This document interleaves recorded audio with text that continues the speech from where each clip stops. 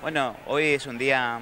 muy especial y muy feliz para todos nosotros. Este es un proyecto que viene trabajándose hace mucho tiempo, hace más de un año, con todo este equipo de trabajo, con Rodrigo, con Maxi, con Fabio Moroz, con, varios del, equipo y todo el equipo nuestro de la Cámara, María José, Daniela, el equipo del doctor Cecino, mi amigo, vicepresidente de la Comisión de Salud, Martín Cecino, también y todo su equipo. Por eso hoy para nosotros es una enorme felicidad poder darle a conocer a la sociedad este proyecto que tiene dos pilares fundamentales, que uno es la prevención de las enfermedades cardiovasculares, que sabemos que hay muchísima gente, muchísimos misioneros con factores de riesgo por contar con enfermedades este, crónicas no transmisibles como hipertensión, diabetes, obesidad, eh, fumadores, pacientes que están ligados al alcohol y que necesitan eh, que la gente se ocupe de ellos y que pueda ayudar a prevenir estos factores de riesgo para que no lleguen a un evento cardiovascular. Y sobre todo, el otro pilar fundamental que habla sobre la rehabilitación. La rehabilitación en el paciente el día después, cuando sufre una enfermedad coronaria, cuando tiene un evento cardiovascular grave, que tiene que recibir internación en las unidades de terapia intensiva, unidades coronarias, en donde si tiene la posibilidad de darse el alta y volver a la casa, ¿qué es lo que pasa? Ese día después en donde el miedo, las dudas, la incertidumbre se encuentra a flor de piel y que el paciente cree que ya la vida en ese momento se ha terminado y que no puede volver a ser útil a la sociedad. Para eso, esta gran herramienta que se ofrece a la comunidad, a los misioneros, como único y legítimo beneficiario para poder darle esa contención, esa rehabilitación multidisciplinaria que tanto se necesita, de médicos recuperólogos, cardiólogos recuperólogos, kinesiólogos, profesores de educación física, nutricionistas, psicólogos, por supuesto, porque necesitan un tratamiento también psicológico para poder volver a sentirse útiles a la sociedad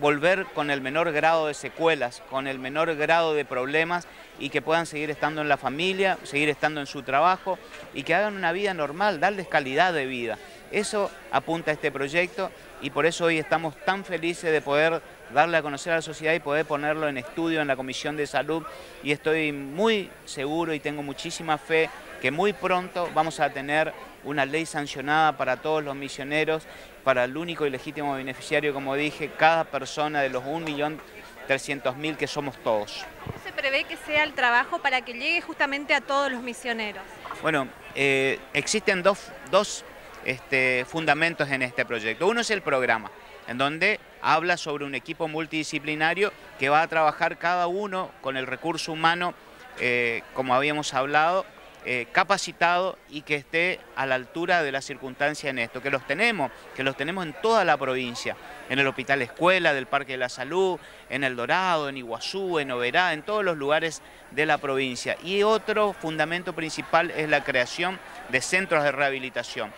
la creación de unidades con infraestructura, edificios en donde van a estar insertos estos profesionales y trabajando cada, con cada uno de estos pacientes captados desde las unidades coronarias, desde los lugares de internación, pero también captados en los consultorios para que puedan acceder a la prevención. Un médico clínico que capta un paciente con factores de riesgo podrá mandarlos a estos centros que van a ser diversos en la provincia para que nosotros podamos encaminarlos y podamos darle eh, todo lo que necesita, herramientas que necesita para prevenir esta enfermedad y si es que tuviera la mala fortuna de sufrir un evento cardiovascular, también en estos lugares eh, estarán disponibles todos estos profesionales y todo este recurso humano. ¿Los recursos son todos los que están o se va a necesitar contratar más? Eh, los recursos eh, los tenemos en el Hospital Escuela, en el Hospital de San Miguel Dorado, en el Hospital de Oberá, en Iguazú, en toda la provincia, pero también una de las cuestiones que se habla en este proyecto es la capacitación y la búsqueda de gente que quiera seguir trabajando en esto, pero sobre todo buscando nuevas herramientas a nivel